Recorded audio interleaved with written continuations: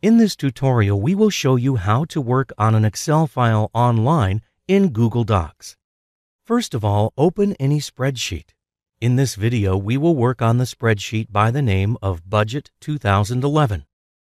Now, if you want to freeze your rows in the spreadsheet, select the row which you want to freeze and go to the View tab and click on the Freeze Rows option.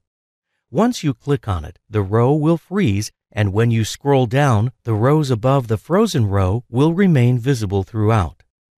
You can also add functions to do your calculations with the help of the spreadsheet.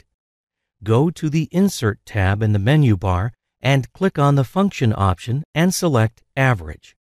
The formula for average will be shown and you will just have to select the cells on which you want to apply the formula.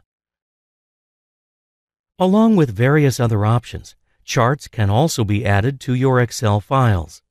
Select the area on your spreadsheet from which you want to take data for the chart. Once selected, click on the Insert tab and select the Chart option. A box will appear from which you can change the settings of your chart. Once you are done, click on the Insert button and your chart will be added to your spreadsheet.